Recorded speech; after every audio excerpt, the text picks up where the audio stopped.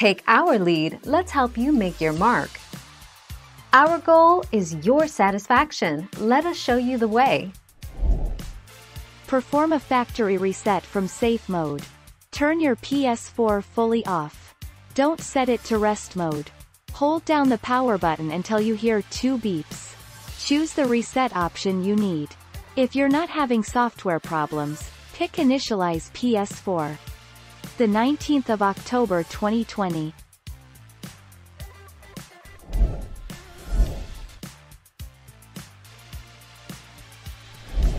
Let's help you make your mark.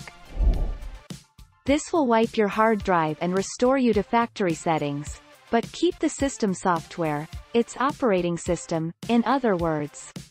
The last option is Initialize PS4, reinstall system software, which is an even fuller factory reset that will require you to reinstall the PS4's operating system.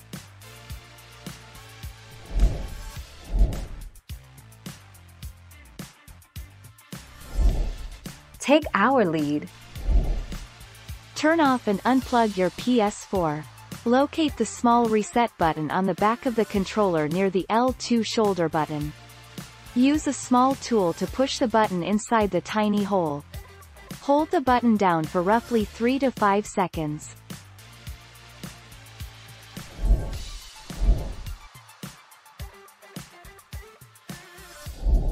Make your mark, take our lead.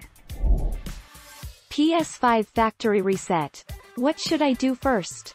Turn off your PS5 console by pressing the power button. With the system completely off, press and hold the power button again. Connect the controller with the USB cable and press the PS button on the controller. Your PS5 has now started in safe mode. The 28th of February 2021. Thank you for watching. Please subscribe and hit the bell notification.